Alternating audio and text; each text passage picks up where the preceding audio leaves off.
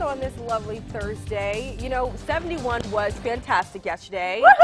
and we know that today it'll be a little bit cooler and the rain is is not too bad. It's still going to be pretty I nice. I mean, we're, we're not expecting much, and thankfully, river levels did drop in the Missouri River, so I'm not expecting too much of a concern with the river. But, I mean, after yesterday, I felt like we were so spoiled, Dave. we were, we were, and it was nice.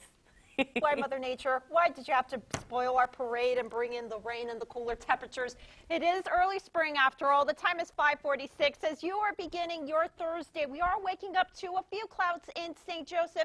Temperatures not too bad as you're stepping out the door. Right now, we're sitting at 49 right now in St. Joseph with a calm wind. Now, I have been tracking clouds moving in over the last several hours on our KQ2 high resolution max satellite and radar. There is a line of showers and thunderstorms out into St. Louis and Illinois and Indiana, but that's not our concern with for today. Our big concern is this line of showers you see developing over western Kansas. This is all ahead of our next storm system that will be bringing in rain chances into the forecast, not just for today, but also into our Friday. So parents, as you are starting to wake up the kids, get breakfast and the coffee going and getting them ready for school, make sure they have the rain gear with them because we're going to be seeing cloudy skies this morning, but rain chances will be increasing in the afternoon.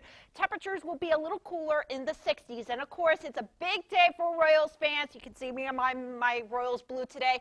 Kansas City Royals, they kick off their season at Kauffman Stadium in Kansas City. And unfortunately, if you're heading out to Kauffman Stadium and down to Kansas City, you will need the rain gear as temperatures will be at 62 degrees by the time the game starts with chances for showers and thunderstorms. And keep that in mind that we will continue to have widespread chances of rain in the forecast heading into our Friday and into early Saturday.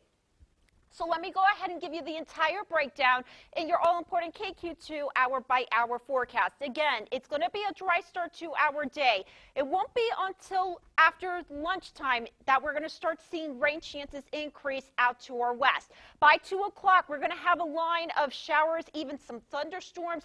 The orange and yellow colors indicating some heavy rainfall with that. And this is just round one. I'm expecting a break heading into the overnight hours. We could see some light rain into tomorrow morning, but we'll see another round of showers and thunderstorms begin to push through on Friday morning as our cold front pushes through. And this is going to be enough to kick down our temperatures as we go from the 60s today to only 50 degrees for our high on Friday. Just being the messenger, I hope you enjoyed 71 yesterday because unfortunately temperatures are going downhill from here on out for the rest of the week. 64 for your high today with widespread rain chances. Again, we could hear some rumbles of thunder. And then your all important KQ2 5 to 7 day forecast once the rain moves out early Saturday day. Yeah, it's going to be cooler. I wish it was in the 70s for the weekend, but at least we'll have the sunshine.